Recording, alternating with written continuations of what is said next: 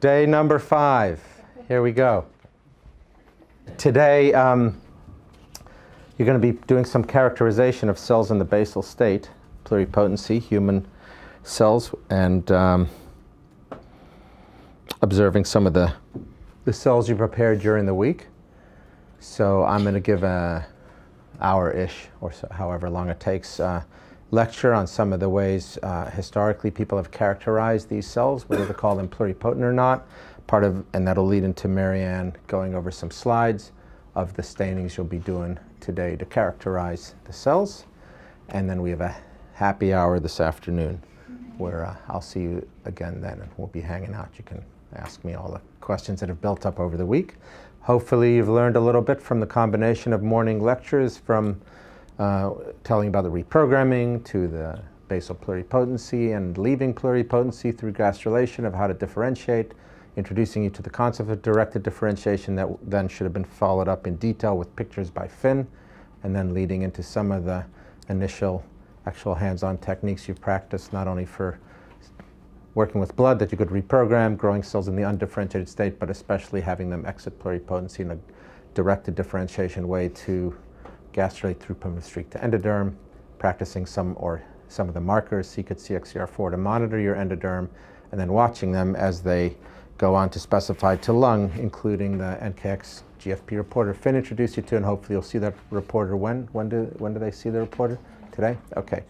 And um, once the cells have become lung, you know, you leave them in medias and various medias that we're developing to find their way to either proximalize or distalize. So I think most of the students expect by the end of the week they can go home, start making mature type 2 pneumocytes, everything's going to be fine, and you know that's not the way it works. And actually, uh, the, on purpose, the course is not to teach how to make advanced, mature, end stage recipes because if there's one thing, hopefully it's come through clearly all week, it's that everything, everything in terms of efficiency, how your cells behave, and how they mature depends much more on the first two weeks than the last three, four, five weeks. Everything is about the day zero cells being really pluripotent, competent to gastrulate, and then about the endoderm being efficient in a scored, measurable way, c-KIT, CXCR4 with some pattern recognition, and then some monitoring of the cell fate decision to commit to lung, as exemplified by NKX 2.1 GFP. In our experience, that's the hardest part of the protocol is endoderm to lung, how to plate them into matrigel drops, drops to have them leave. And after that, it's mostly just time and some media tricks, but the, those, those stages are much more easier and they're entirely dependent on the first two weeks. Okay, message received. So let's talk about day zero then. How will you know if your cells are any good to start making lung? You're about to invest a month or six weeks of your time taking these beautiful cells and taking them all, I mean, to recapitulate developmental biology as we're emphasizing to is really hard. That's directed differentiation. How do you know if the cells are any good on day zero that you should even start or throw them out, start over, thaw another vial? So question one, conceptually, here's your somatic cell Gustavo talked to you about. It's differentiated. It's different than this stem cell we're working with. Pluripotent stem cell of two flavors we've talked about, embryonic stem cells and their near equivalent that's engineered by reprogramming induced pluripotent stem cells, very similar if not identical. Now if I give you a vial of pluripotent stem cells, and trust me, it's a, I want you to believe it's pluripotent. You shouldn't trust me, of course. So you're going to find out for yourself. Let's say I give you a vial of pluripotent stem cells. How will you find out for yourselves if these are pluripotent stem cells? That's the philosophical question. So, what do you think? Here's a vial of pluripotent stem cells. Trust me. How are you going to find out that I'm telling that you can trust me? Yeah, if you can uh, differentiate them into the different um, endoderm, mesoderm, all the different germ layers. Germ layers. So okay. Possible. Great. So, so you just brought up the key criteria, which is function, isn't it? That's how you measure a pluripotent stem cell. Any other ideas? Any other guesses? This is a vial of pluripotent stem cell. Is this good enough? That's good enough. You think that's good enough? The three germ layers. The three germ layers. Okay. You also need to show that it can self-renew as well, right? Okay. Self-renewing and having multipotent or pluripotent, if it's across germ layers, differentiation repertoire would be the key. Okay. Um, How about markers? How about genomes, transcriptomes? These are so. These are the questions we ask, and the field asks: Is how do you know cells really pluripotent? And this is a this is a good answer. So let's just go through historically how people studied pluripotent stem cells and how you're going to characterize them today, and what the different levels or stringencies of, of characterization are to meet you know, the right to call a cell pluripotent. All right, so what we're talking to you today about is um, markers of taking human cells and staining them with this kit Marianne will introduce you to. And they're uh, markers, cell surface markers, SSCA 1, 3, and 4, antibodies against which um, that are con fluorescently conjugated she'll introduce you to. There's an alkaline phosphatase, uh, which you would not practice today, but this is another typical technique used in the field, and some other cell surface markers, TRA 161, TRA 180. So when you stain for this panel of either enzymatic function or cell surface markers in human uh, ES cells or IPS cells, either way, they're, they're very similar. They will be positive for everything except SSCA1. Okay, so here you go. These are positive. In the literature, it was a TRA 180 that was Torsten's published marker for reprogramming, or 161? 61. 161. So early in the field, uh, we don't find this much, but early in the field, so everybody clear? Human embryonic stem cells stain positively for all these markers, and they stain negatively for SSCA1, which will upregulate as cells differentiate. But in mouse cells, remember we talked uh, earlier in the week about mouse cells having a slightly different basal pluripotency state than human, and slight other differences, and the including shape. And the human cells actually, uh, the mouse cells are positive for SSCA1, whereas the human cells are negative. So this is a nice kit Marianne will run you through because if you include SSCA1 antibody, it should be negative. So that's a nice negative control that you're not just studying autofluorescent artifacts and nonspecific binding, that some of the markers are positive, some of them, and one of the markers is negative. Now, early in the reprogramming field, it was recognized that not all colonies were pretty in, in human reprogramming of fibroblasts to pluripotency to make IPS cells. And in fact, uh, and labs like uh, Catherine Plath's started to do global transcriptomic profiling of the different types of colonies that were emerged in culture. And Rudolf Jenisch has tracked the kinetics of how somatic cells reprogram over time into IPS cells. And what emerged in the literature was the contention that not, firstly, the first observation was if you put Stemca or whatever, Sendai, whatever four Yamanaka factors into any somatic cell, chances are it doesn't reprogram, right? There's certain blocks on reprogramming, and so broadly over a culture dish of a million cells, maybe only 1% of them reach reprogramming. It doesn't mean the others do nothing. Some of them do very little. Some of them go partially there, or lose their way, or uh, recede backwards then to this fibroblastic state. Or some of them actually reach a self-sustaining different morphology with roundedness, but they don't quite reach IPS pluripotency. So what emerged in the literature was the concept that there were these partials. So there's kind of true reprogrammed IPS colonies and some that didn't find their way all the way there, which is a complex construct of what is a partial. Is it something that occurs in nature? Probably it's not. Probably it's something artificially engineered that is unnatural, that there are all these different basal states beyond pluripotency that you can arrive at that nature never arrives at, but that you can arrive at if you really force a cell to overexpress the four Yamanaka factors. So, yes, what's that? Other way? 160, TRA 181. TRA 181 and, and 160. is the one that I always, I always get that confused. Yeah, 181. So the partials is?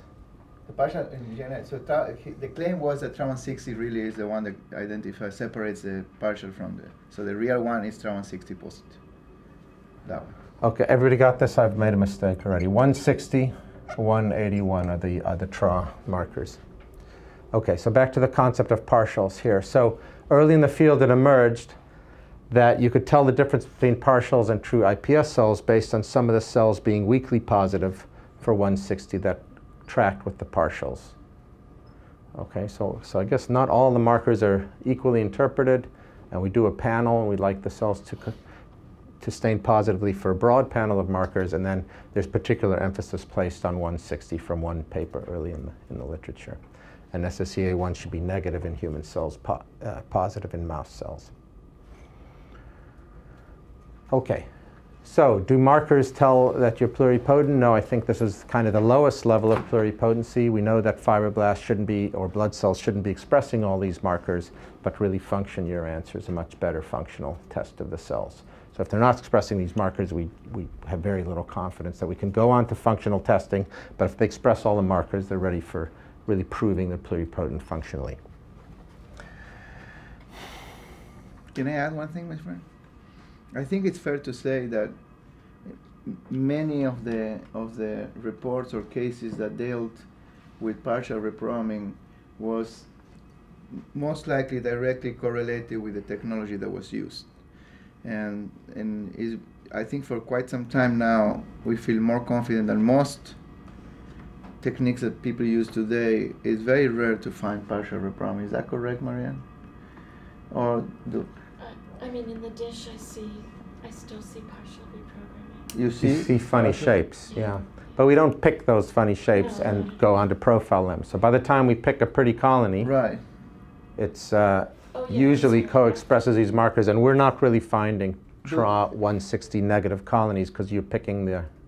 you're not picking the ugly shapes, In right? general, in general, it's very rare that you will pick colonies and expand, and they will grow, and they will passage, and there will be partial reprogram lines that, that they don't Correct, right, that's correct. Work properly. But for sure, you see some of the picked colonies look ugly or too pretty or not quite right, and we and we think uh, we don't spend much time anymore characterizing them. Those are probably wrong cells, including partials. So most of the ones we characterize, almost all the ones we characterize, we don't really find cells lacking this marker or partials anymore. Uh, to to ex- expand on what Gustavo is saying, early in the field when we're using four retros, four separate Yamanaka factors, and maybe some of the cells are getting only three or two of the factors, there's a lot of, and they're getting them in different stoichiometries and different copy numbers. There's a lot more propensity to have uh, even pretty colonies be not quite right. Now the stoichiometry is very worked out. All the cells are getting uh, the four factors, and, uh, and uh, the morphologies that are correct once picked and characterized seem not to be fraught with too many partials.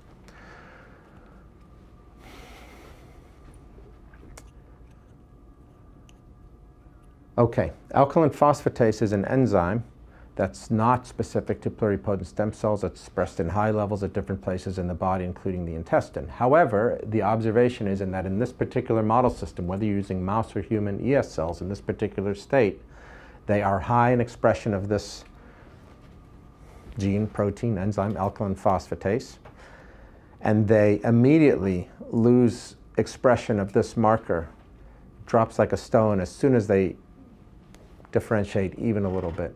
So it's a popular and easy enzymatic assay. We're not doing this today, alkaline phosphatase, but um, it's a classic mouse uh, kind of, uh, if you have a mouse ES colony, you can find colonies that are half alkaline phosphatase bright and half uh, faint. They've lost it, and you could notice that the edge of a colony is kind of uh, irregular, as if it's differentiating. And this is a very nice way to score pluripotency.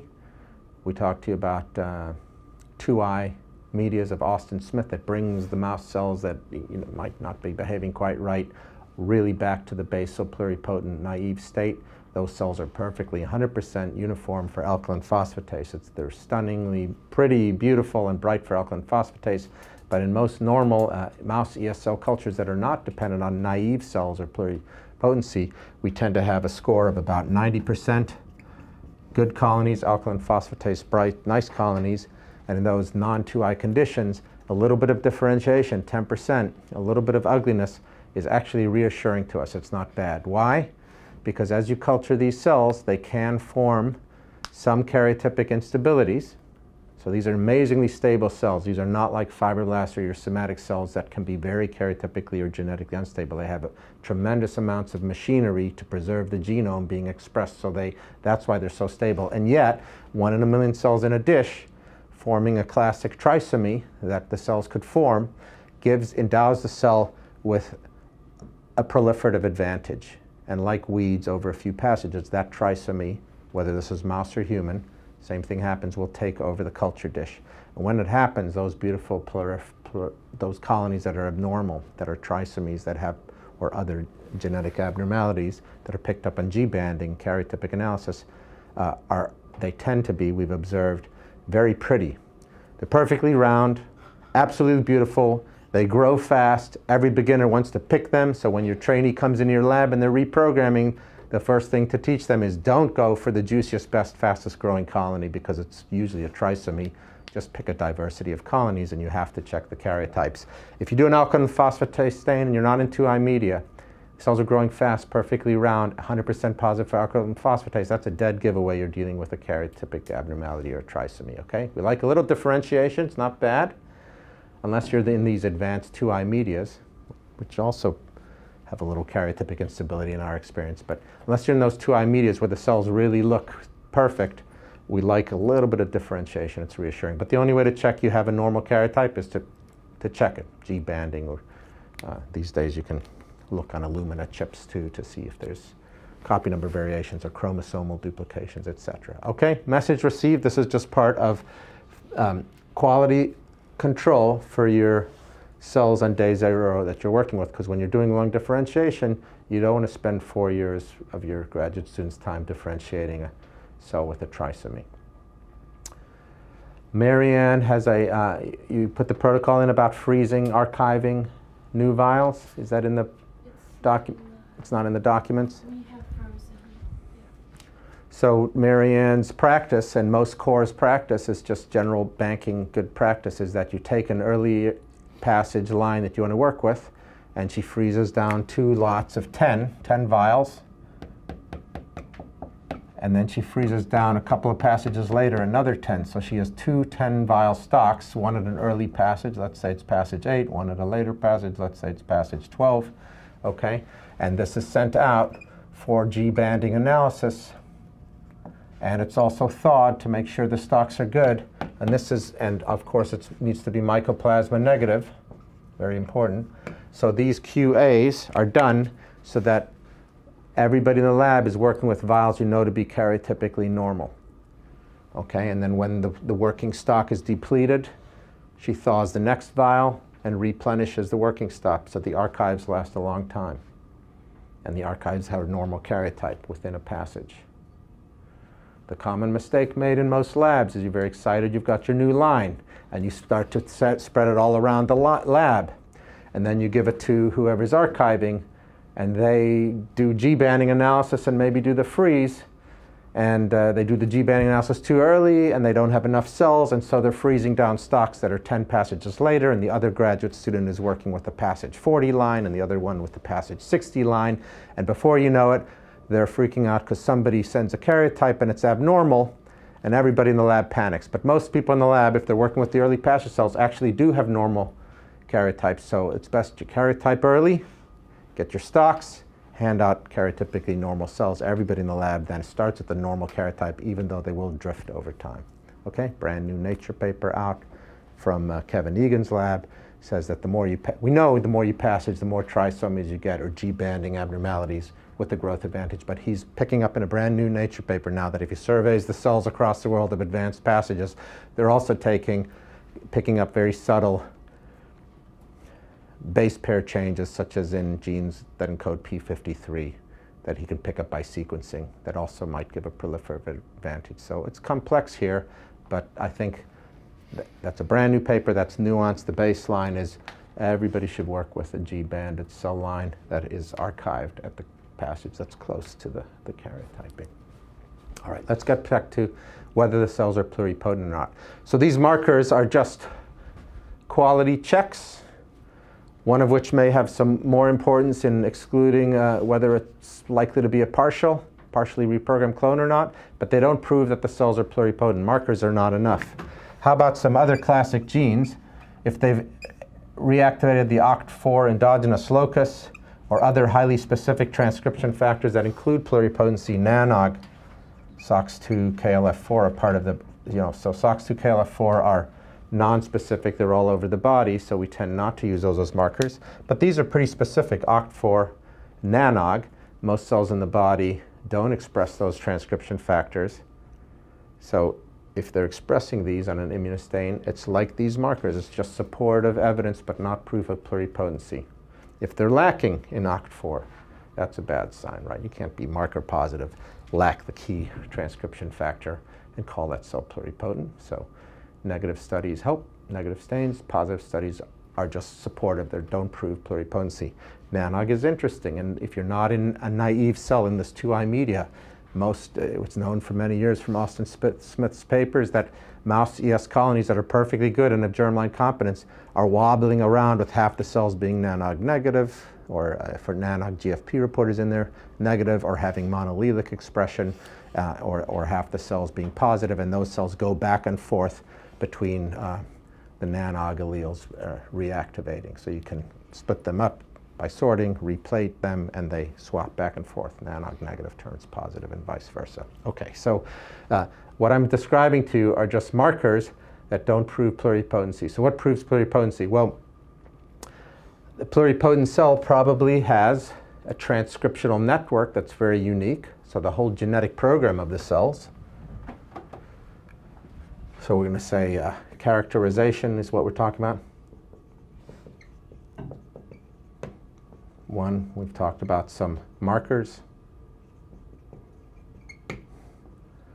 This being the lowest level of suggesting a cell is pluripotent. Two, now we're talking about the, uh, the programs of the cell. The first program being the transcriptomic net program or network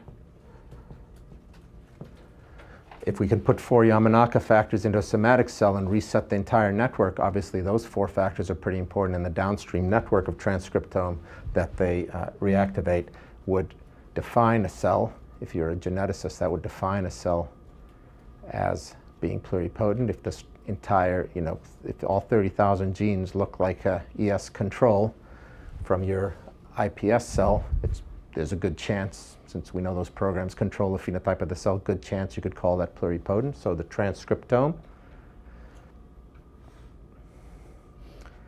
There's another program, which is the epigenome, which I'll come back to in a minute. Should look similar, ES and iPS cells. Epigenome meaning the code, the program of a cell that's not dictated by the DNA sequence. So the modifications of the DNA, including the methylation of the DNA and the modifications of the histones, the epigenome. And lastly, let's get back to, um, to function. So the functional assay, there are different levels of stringency and weight for these assays. So I think you've started with maybe, let's say, the lowest functional level that can you take the cell in vitro and put it in medias you've been, we've been talking about, a media that might have it leave pluripotency towards making primitive streak in the presence of Wnt BMP and activin, with high activin driving it to anterior primitive streak and thereafter endoderm and looking at some of those endodermal markers and then taking that same vial and putting it in the posterior primitive streak media we talked about, a high BMP, high Wnt, low activin, taking it towards KDR positive mesoderm and the downstream lineages that come up quite easily with time if you just leave those cells in media and they make collagen programs and smooth muscle actin programs and fat droplets or beating cardiomyocytes that come up. That's mesoderm. And of course, we talked about the propensity to almost by default respond to FGF4 induced ERK MAP kinase signaling in presence of retinoic acid or, or almost anything, just time to leave for neuroectodermal differentiation and make long neuronal looking shapes that are TUJ1 positive, for example. So if you've done those in vitro experiments, that would be function. That's um, differentiation to three germ layers. That's a functional test that you have pluripotent cells. A higher level test would be, so this is in vitro. A higher level test would be in vivo. What's the in vivo function of your cells? so this is where the mouse field really wins, right? So you have the ultimate tests that we talked about with mouse ES cells and now mouse iPS cells where you can inject the cells into a blastocyst, right? So if you take your cell made from the tail tip fibroblasts of a black mouse, reprogrammed with the Yamanaka factors as Gustavo described to you, and you reach these colonies that are marker positive and you want to call them mouse iPS cells or mouse pluripotent stem cells, the proof that they're pluripotent in vivo is the ability to take those cells inject them, let's say, into an albino mouse blastocyst embryo and plant the embryo in the foster mouse mother. 19 days later, the pups are born. When the mice get hair, you can see a patchwork of black and white coat color, and similarly, all the cells internally are, uh, are the organs inside are chimeric of made of contributions from both uh, the injected test cell that you now are comfortable calling pluripotent because you functionally proved, proved it makes a mouse chimera, right, in vivo. So chimera formation. But can you do that with a human cell? So uh, that's a good question, actually. So, it's, so uh, we don't think of it as ethical to do that with a, a human cell, but you know, there's new cell papers uh, now coming out where you can cross species, including getting some mouse uh, human, uh, human pig or human other animal chimerism when you inject pluripotent stem cells into animal embryos. So for example, um, uh, who, who, was the author? Uh, Bonte had a new cell paper uh, addressing this topic. But for the most part, um, crossing species is difficult. There's very low efficiency chimerism, and we don't do this with human cells. This is a, an isogenic or, or same species kind of um, chimera formation, mouse into mouse.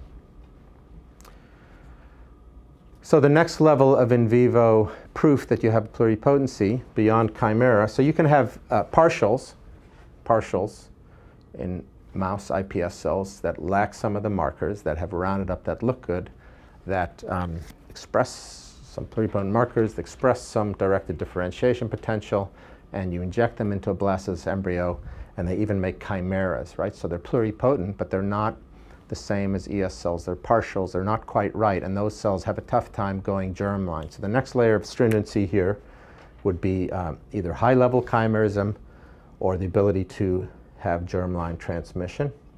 Germline transmission. Germline transmission means that experiment we just did where we took the black tail tip fibroblast reprogrammed to what we'd like to call pluripotent stem cells injected into the albino house, host mouse uh, blastocyst, put into the foster mother, making pups that are black and white. If some of those mice have egg or sperm contributed from the injected black test pluripotent stem cell, now we can breed that mouse together with, say, an albino mate. And the next generation, some of those mice are black, and that's evidence classically of germline transmission, well known with ES cells, and now uh, published repeatedly with the engineered equivalents iPS cells. So if you have a partial or something that is pluripotent but not uh, meeting all the stringencies of what ES cells can meet, they will tend to not go germline. So we're going, know, again, through different levels of stringency here of calling cells pluripotent functionally from an in vitro test to a chimeric test to a germline transmission test. Yeah. So the highest, so the question frequently comes up, can you take a cell and, uh, you know, maybe it takes time or generations in the mice to really reach this pluripotency state so that by 19 days they can make egg and sperm. They're not quite pluripotent. In another generation, they're clearly pluripotent, contributing to, to this, this next generation of mice.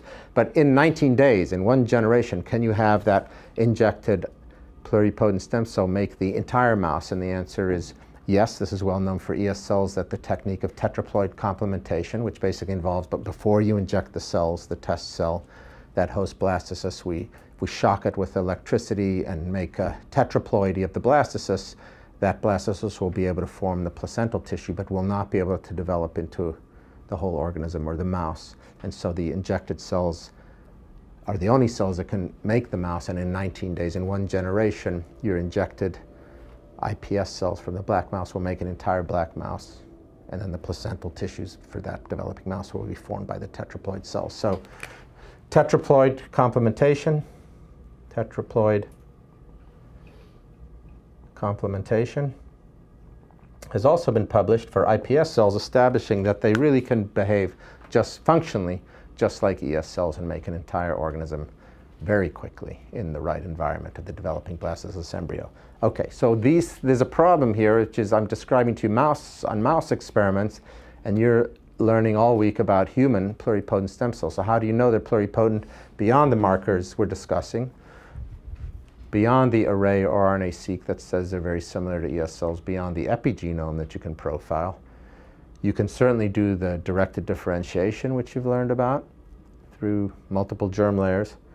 But the, in, the only in vivo test we really uh, have widely published for human cells functioning in vivo is a teratoma assay. So that basically means you take an immuno, immunodeficient mouse, so it won't reject your human cells, and in a Matrigel plug in various convenient compartments in the mouse that you can remember, go back to and find your cells, the cells in vivo over many, many weeks, such as nine weeks, can form little, they live, proliferate, form clumps of tissue that you can analyze. And when you section through those, analy- those, those tumors, these are benign growths called teratomas because they have tissue contributions in them of the three germ layers. You can find lots of glandular structures, you can find even hairs developing sometimes, you can find cartilage.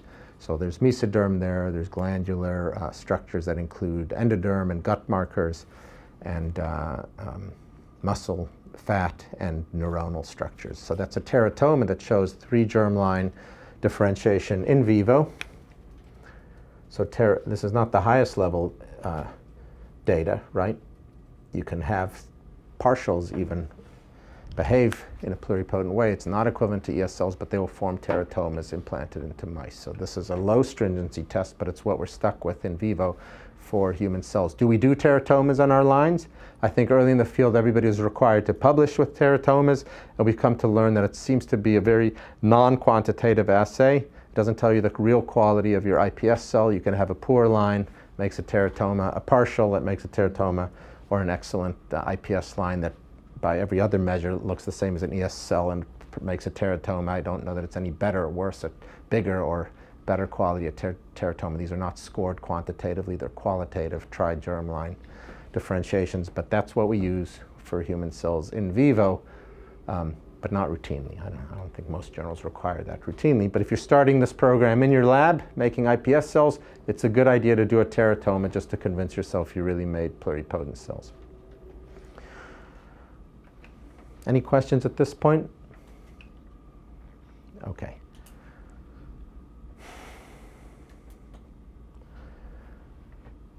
So an interesting, uh, in the in few minutes we have left, I think an interesting um, topic to discuss is what makes the cells so special that are pluripotent. One component being the network and the transcriptome that gives us this functional property, and it's really interesting to conceptualize why cells with the same genetic sequence will behave so differently and um, how do cells know, why do cells remember if you start off with a poor day zero cell or you don't quite make endoderm properly, you, you messed up and it's a little bit posterior primitive streak with too much BMP and Wnt, and then you try to make it into lung, why will it resist becoming lung if you haven't gone perfectly through foregut endoderm with this IPS cells? Why can't you give it a Wnt stimulator, BMP agonist, retinoic acid, and have your cell from the previous stage, your human IPS derived cell, form lung. Why, why is that? Why is that? Why shouldn't, shouldn't have, why do you think that is? Why, I mean, shouldn't a cell just respond to, if you know the signaling pathways that encode lung specification or Wnt, BMP, and RA, as they seem to be, why can't you just take these cells and give them the growth factor? Maybe they require co-stimulation of multiple growth factors. Okay, what if we give them all the, the, the right growth factors at once? Maybe it didn't go through the specific stages that it needed to beforehand the produce, to produce the precursor. That's right, yeah. So you have to go through the specific stages to be competent to respond to the next stage of growth factors, and you can't do it all at once. For, for, for lungs, you don't seem to be able to do it all at once. And one of the biological explanations uh, that we're interested in studying using these model systems is the concept of cellular memory. How does a cell remember what, what it's competent to be or what, its grand, what cell fate decisions its grandparents went through? So uh, the epigenome is, seems to be uh, one possible mechanism that explains cellular memory. The marks on the DNA are histones that are handed down through each generation of cells that render them competent or incompetent to respond. So if we look at undifferentiated stem cells and pro- profile them, there's some interesting papers that have come out several years ago. One from Bradley Bernstein's group published in Cell, where he found that if he starts to profile uh, histone marks, uh, the way the DNA is folded and wrapped around the nucleosomes, um, he's, there's some classic histone marks we, we know of in the epigenome. So the third histone protein in the nucleosome the fourth lysine in the third histone, H3K4, can be methylated or acetylated, and its certain patterns are predictive of a locus being generally open. So the beads on the string, the DNA wrapping around the nucleosomes, are a little wider, more open, euchromatin, and that tends to correlate with a locus that's either active or poised, about to be active. So it turns out that trimethylation of H3K4 is a mark let's say around a promoter region of a certain developmental gene that's associated with euchromatin and uh, ability to activate that locus or actual expression of that locus. And in that same third histone protein, the 27th lysine, H3K27, uh, a methylation of that mark is associated with the, with the opposite. So the chromatin there at that locus would tend to be closed and off, and the H3K4 trimethyl would tend to be more open and either um, expressed or, uh, or poised. Okay, and this is, happens fast, these changes in development, uh, as opposed to the more permanent uh, changes, I think, that come up, which is the DNA methylation that tends to be closed and off for a locus, seems to be a later mark or a more permanent mark. So in Bradley Bernstein's paper, Profiling Embryonic Stem Cells, he found uh, his contention was that there was co-expression of both the off and on market many developmental transcription factors or promoter regions of those transcription factors. So that's a really interesting observation. The transcription factors were might be off, they might not necessarily be expressed, but the promoter region in front of that locus, NKX 2.1, by the way, we find is one, one of those loci that has both patterns, has uh, kind of a two part signature off and on, and he named that bivalent. So these bivalent loci, his contention is, is a property of these pluripotent stem cells, especially for developmental transcription factors and their promoters. H3K4 trimethyl together with H3K27 trimethyl. And then as the cell exits pluripotency in response to the growth factors we're telling you about, being endoderm, if it's still competent to become lung, uh, it maintains this dual expression around the promoter of NKX 2.1 and many other loci. And as it exits that, let's say, foregut endodermal state to be something else, or if it decides to become mesoderm in certain factors versus the lung factors you're seeing, it will resolve the state from bivalency. So um, you might have day zero, bivalent state, having both marks at a certain loci of interest, to commitment and specification, and let's say uh, day 15, NKX 2.1 positive cell would tend to assume univalency of this locus NKX 2.1. And we've, we have some data on this in mice uh, in vivo and in the mouse ES cells as they differentiate to NKX 2.1 positive endoderm, that if you're going towards lung, you assume you, you express the locus, so you pick up the mRNA of the locus, and the histone states of the proximal promoter region of NKX 2.1 tend to assume H3K4 trimethyl, an active state, open, expressed, and they lose this bivalency, or H3K27 trimethyl goes away. It's the opposite in the same cell taken to mesoderm, right? It's not, mesoderm has no business ever expressing NKX 2.1. It's not going to be a brain, lung, or thyroid, and it will tend to resolve the bivalency towards only H3K27 trimethyl and lose the H3K4 trimethyl. And it might also, you know, permanently, as a mark of permanence to give up that state, might assume DNA methylation in that promoter region later. But for the most part, these developmental times I'm talking about don't have, at least for NKX 2.1, much change in DNA methylation that we've picked up.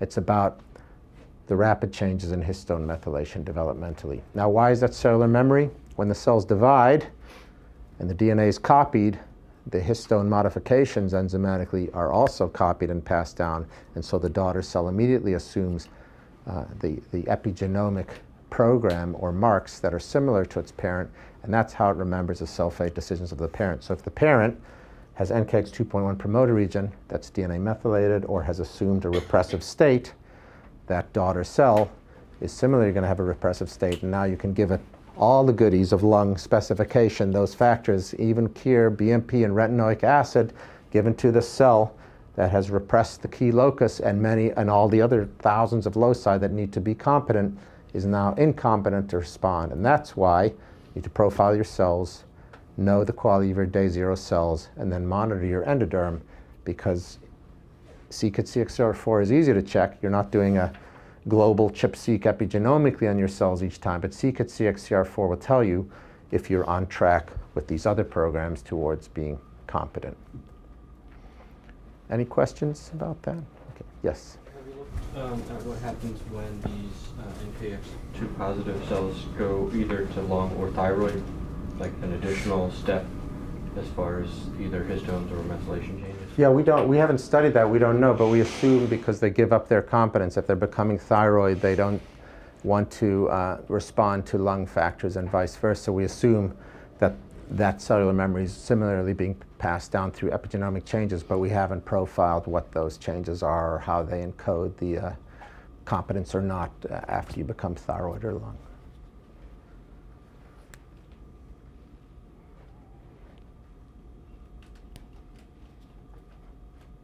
And other questions?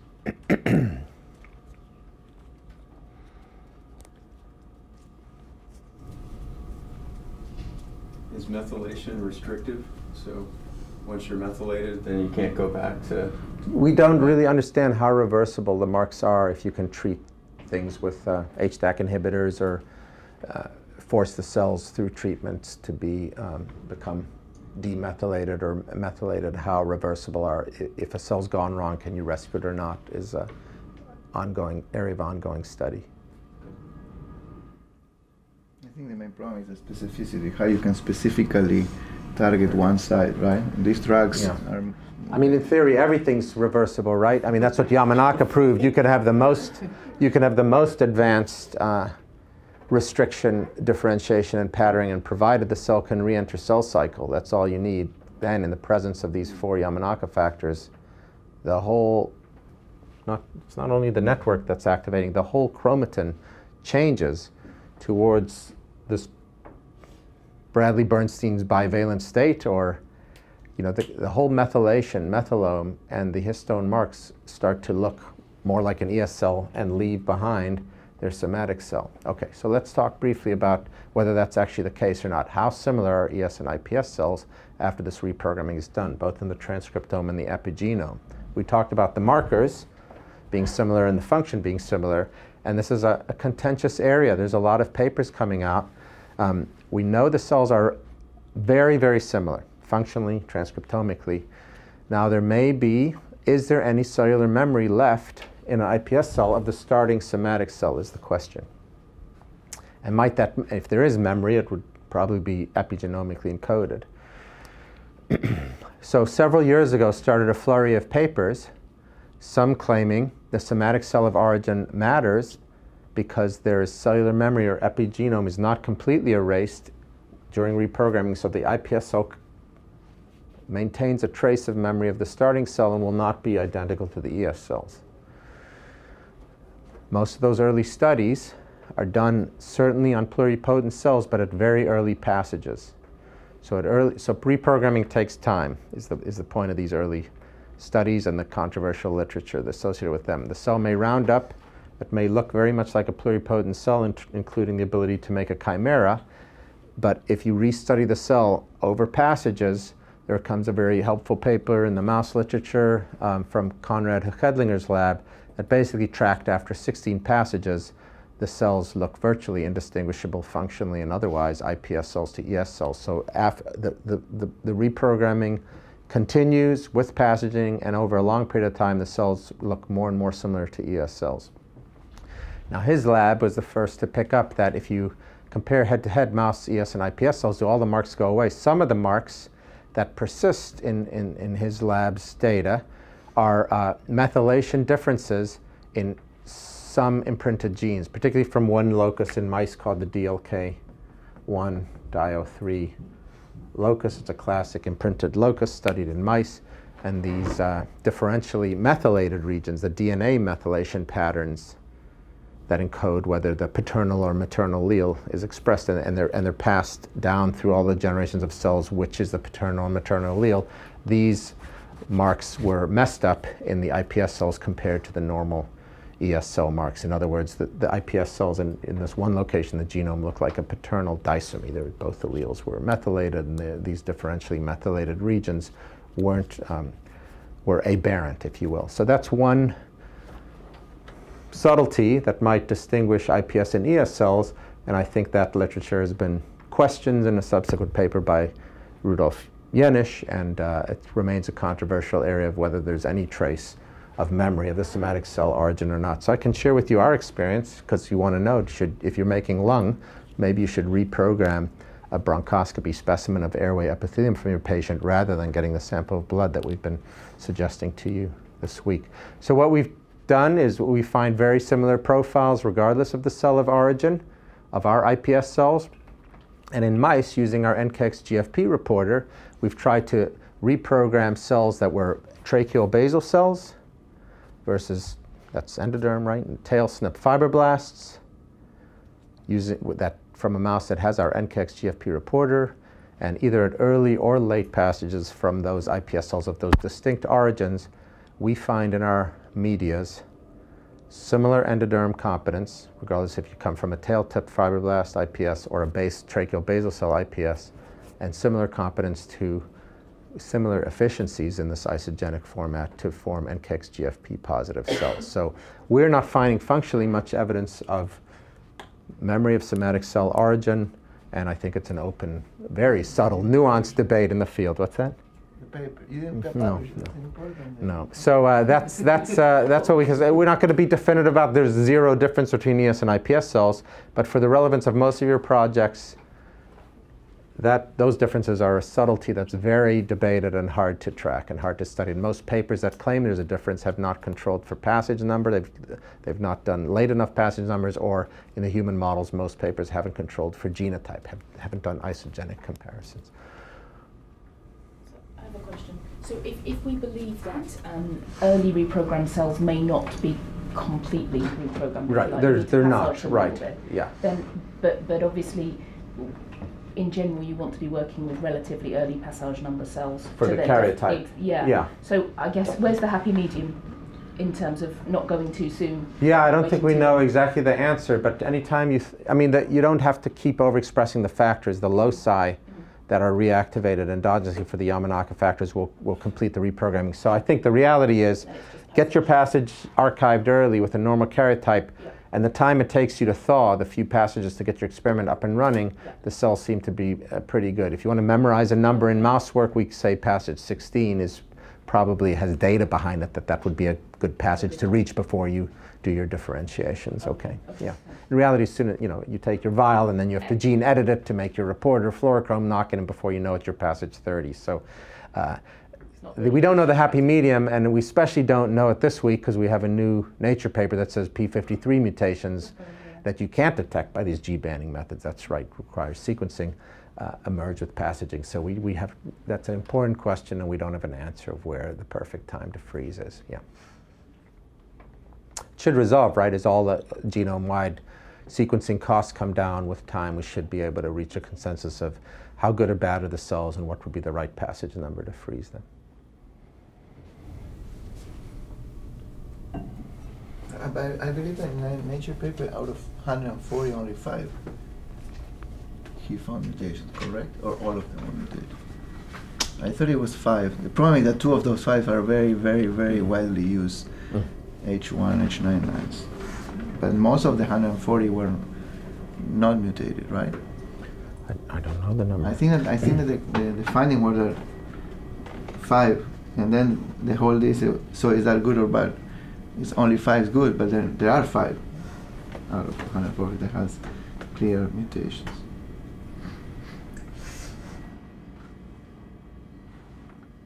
So for, for people that are using IPSS regularly, do you normally characterize them? And what do you use? If you do characterization. Well, for me, we, we got our cells from ATCC, they came Right. with a karyotype. So, uh, my approach at least was just to freeze down a large bank Right. and start from there. And if you have a karyotype from them and you froze it down within a few passages, you, sh- you should be fine. I mean, it's not free to karyotype. It costs money and time and effort, and if you, you know, so there's a there's a balance between being reasonable and being perfect, and we're not. A, it's not always financially feasible to be perfect, right? So, as long as you have a karyotype within a few passages, that's better than Yeah. Than average for sure.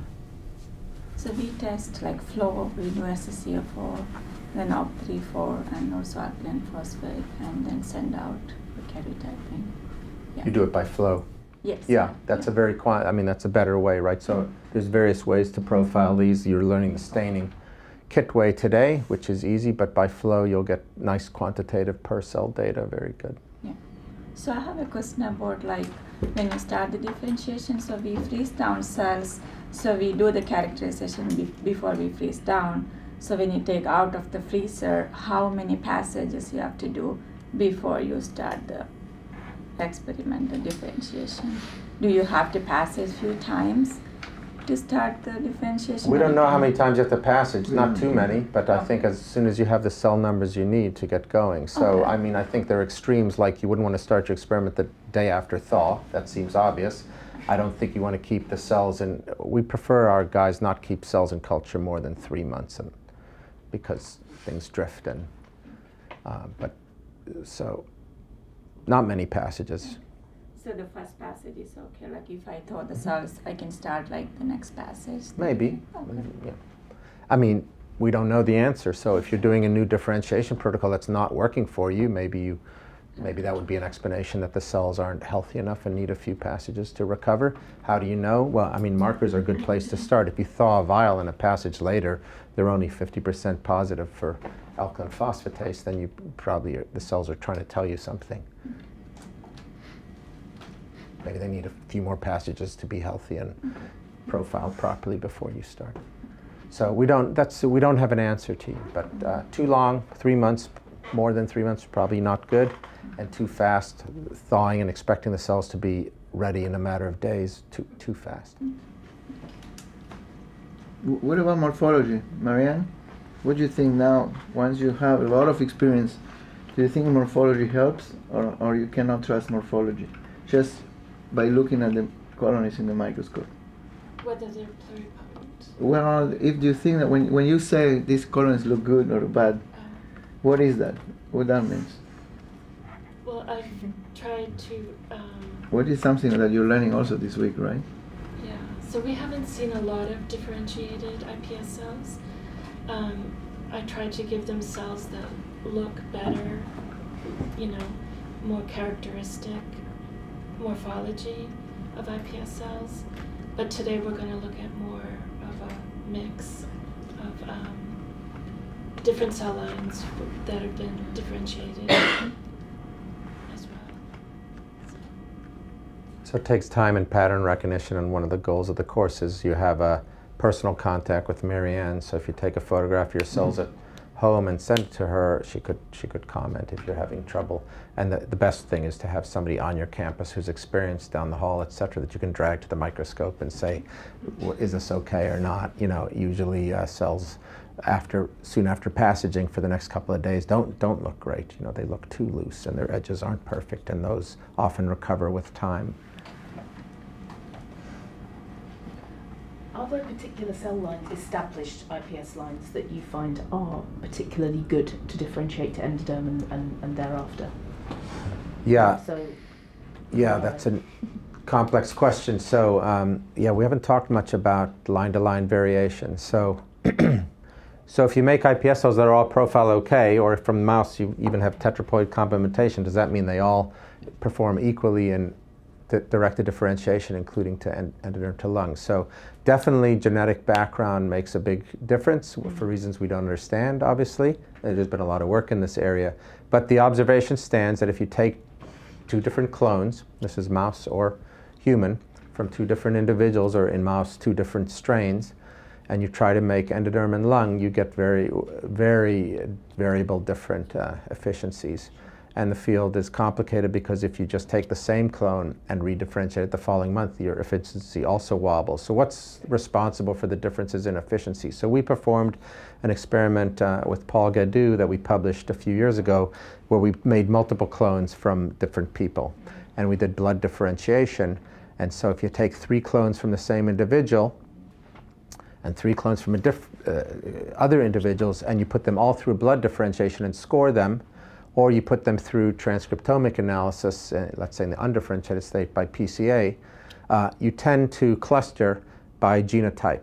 In other words, the three clones from that one person tend to behave and have expressed transcriptomes that are sim- more similar to each other than to the three clones from the other individual. Now, there are occasional outliers, and those outliers are extremely interesting, and you sequence them and you find copy number variations in key genes that are responsible for that. But in general, so there's not a global rule, but in general, the differences in differentiation efficiency, we believe, based on that experiment and other data, are due mostly, not entirely, but mostly to the genetic background. So there must be modifiers elsewhere in the genome that tell the cell maybe how much basal, uh, you know, uh, um, nodal protein to be expressing, and that gives it a totally different efficiency than some other clone.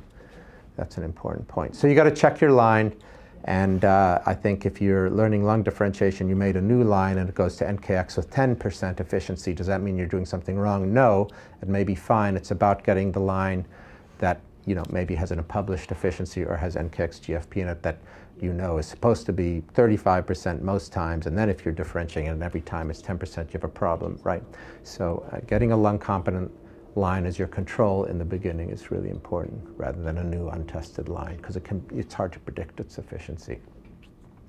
One of the great untested questions in the field is with these new uh, naive medias, you know, Austin Smith's equivalent now developed, let's say, by the Jaenisch lab or Jacob Hanna lab, when you do these inhibitors that bring the human cells to basal pluripotency to the naive state, is this going to remove all these biases, right? So so other than genetic modifiers in the, the genome, the, the, the counterpoint, the other possibility is the cells have nothing to do with the genetic background, the modifiers. It's that each line is slightly developmentally different in, towards epiblast or towards earlier or later, and so it's already lineage biased developmentally to neuroectoderm, as, on the other clone to, to endoderm. And so the inhibitor, the naive state medias should resolve all that to similar efficiencies and rescue lines that previously made poor lungs. So those experiments remain to be performed, and we don't know why they have different efficiencies. Okay, it's going to be a problem for you guys. You guys are going to have clone-to-clone differences, and even when you have a clone that works, you're going to repeat the experiment and get frustrated because your graduate student gets a different efficiency the next time. They're not doing anything wrong. This is just what happens for reasons we don't understand.